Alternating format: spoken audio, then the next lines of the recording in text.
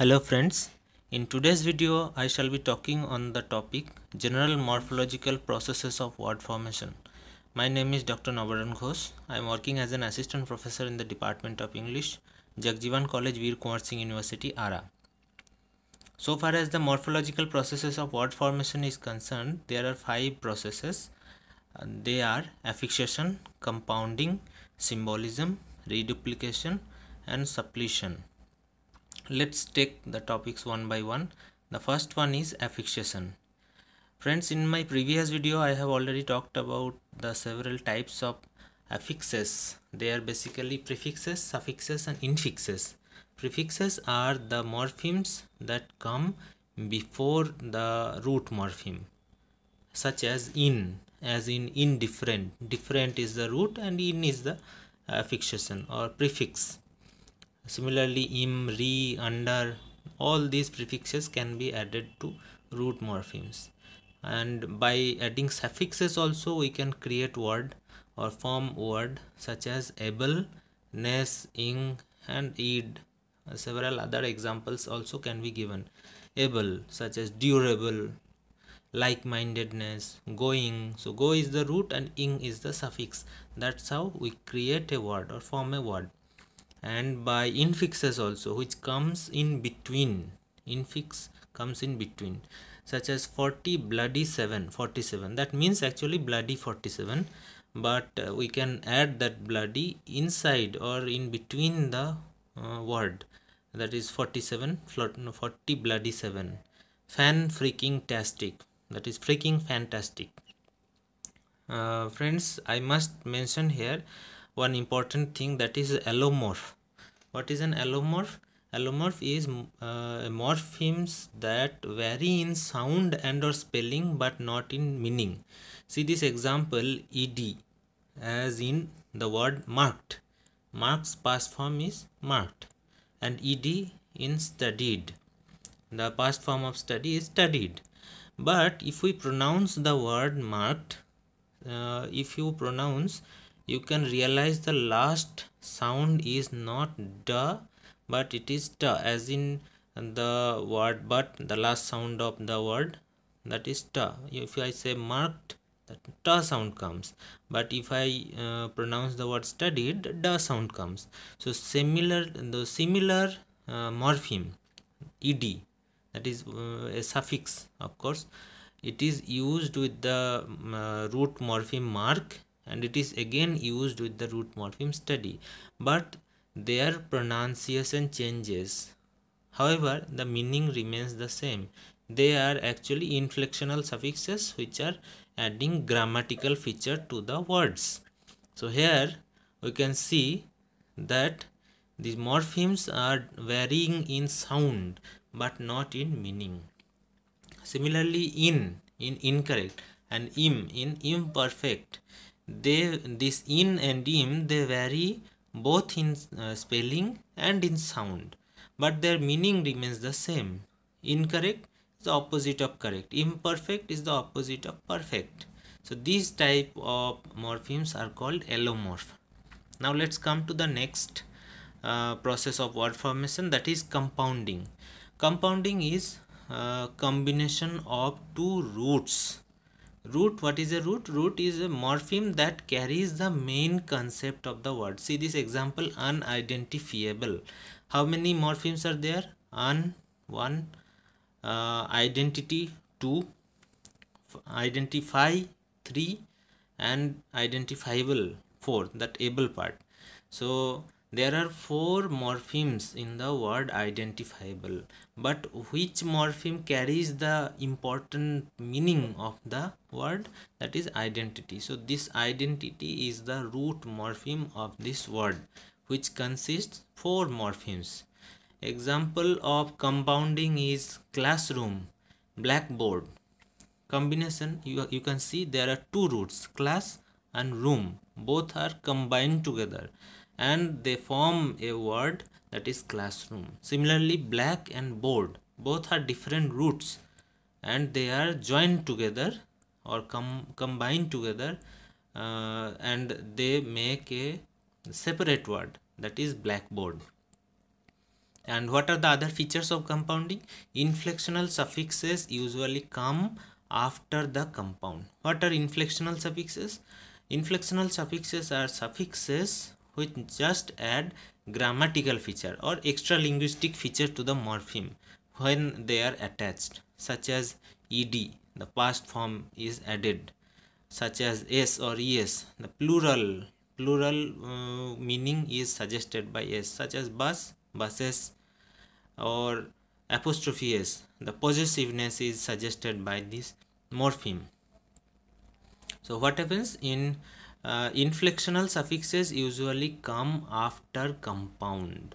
So if i say uh, if i use the word plural form of classrooms classroom we i have i have to say classrooms not classes room so the inflectional suffix is added to the uh, root room and that becomes rooms then it is attached to class that's how classrooms, blackboards.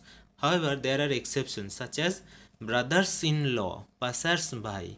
If there are two brother-in-law, I can I cannot say brother-in-laws, but I, I must say brothers-in-law. If there are two persons who are passing, I have to say passers-by, not passer-bys. So these are exceptions, of course. The next feature is uh, compound words can be written in three different forms what are the three different forms? Open, hyphenated and solid. What is that open form? Bookstore. These are separated. Book is one word and store is one word. But they uh, produce the compounding uh, process of word formation and the second form is hyphenated in between book and store there is one hyphen and the last one is of course solid where the both the roots are joined together uh, which looks like one word. However uh, in british english generally hyphenation is preferred in comparison to american english where open and solid forms are preferred more than hyphenation. The next feature is both the roots contribute to the meaning of a compound word see these examples as I have mentioned earlier classroom and blackboard. In classroom we can see both the meaning of class and the meaning of room exists in the word classroom. Similarly in blackboard also the meaning of black and the meaning of board is there in the word blackboard. However there are ex exceptions such as red coat red coat doesn't mean that a coat which is red. Red coat means a british soldier. Flat foot. Flat foot doesn't mean a foot that is flat. Flat foot means a traitor or, or a deceiver. Turncoat turn uh, flat foot means a police or detective actually. Turncoat means a deceiver. And hot dog hot dog is a uh, famous uh, fast food it is not a dog which is hot. So these are exceptions where the meaning is different. In if i say other if i uh, see other words such as classroom and where we can find the meaning is there of both the roots but in red coat uh, with the coat that is red it is not the meaning. The meaning is it is a british soldier and the next feature is uh, compounding usually in compounding usually the first part is stressed. What is the first part? In red coat red is the first part second part is coat so i must pronounce the word as red coat not as red coat i have to give emphasis on the first syllable or the first part of the compounding. I am i must say classroom not classroom. Blackboard not blackboard. I have to give emphasis on the first uh, part of the compound. All uh, again the exceptions are there. Uh, working man women writer. And a compound word can join with another root to produce another compound example is lighthouse keeper. See this example? In this example i can see light, lighthouse is already a compound where we have two roots light and house. And again another root is attached to this compounded word that is lighthouse keeper. Now here we can find three roots are there light house and keeper. So one compound is attached to another root and produced uh, one another compounding word. Similarly living room furniture where living and room both are different roots they produce a compounding word. And again furniture is added to produce another word. So these are the types of word formation through compounding. The next process of word formation is symbolism.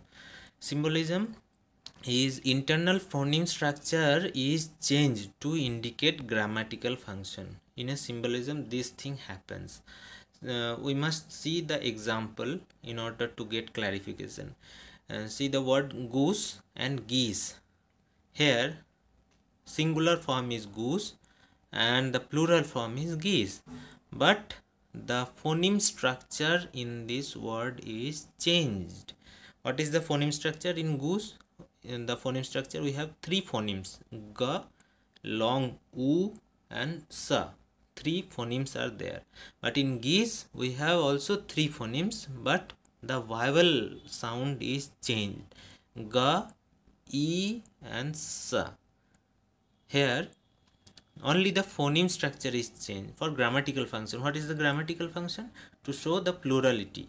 The first one is goose is singular geese is plural the difference is only in the vowel sound. That is the change of phoneme structure. Similarly tooth in plural becomes teeth. Mouse in plural becomes mice. Similarly tense change of irregular verbs.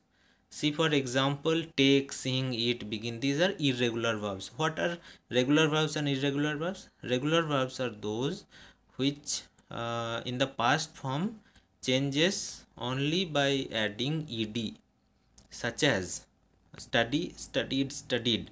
So study is a regular verb. Work worked worked. Work is a regular verb because they regularly change. Uh, means only by adding ed i can change the word into past form or past participle form. But words like take sing they cannot be changed by adding ed into past and past participle form. The present form is take past form is took and the past participle form is taken. Here tense change of irregular verbs. That's how by creating uh, this uh, by creating the past form by adding the past form and the past participle form and this is what symbolism means. So tense change of irregular verbs uh, all other examples are there. Take took taken sing sang sang sing sang sung and eat ate eaten like that. The next process of word formation is reduplication. Here all or part of a root is repeated and complete reduplication does not occur in english usually. Usually we don't see complete reduplication. However exception is this by by see by is one uh, morpheme and another by is another morpheme. So it it is repeated to create another word. But it generally does not happen in english language as in other languages such as in Tojolabal which is spoken in Mexico. Och means to enter. But och och see here the morpheme is repeated. Och och means to enter little by little. Again in indonesian ibu means mother. But ibu ibu means mothers. So here the meaning is also changing by repeating the same morpheme uh, again. That is duplicating the same morpheme again and again in english generally does not happen uh, like this but few examples are there. One is bye bye. The next uh, thing is partial reduplication. This usually happens in english instead of complete reduplication.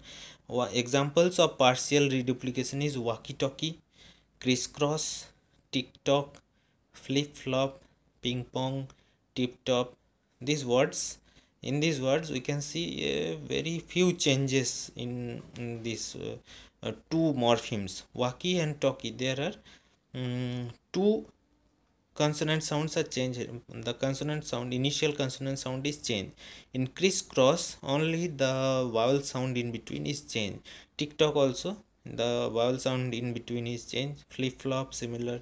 Ping pong is also similar. Tip top is also similar. So very uh, uh, only the vowel sound is changed. That is partial change. That is partial reduplication. And this process is suppletion.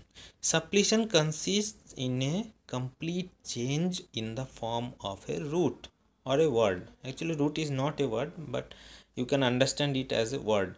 Or in the replacement of root by another morphologically unrelated root with the same component of meaning in different grammatical contents for example good and well change to better and best in the comparative and superlative degree.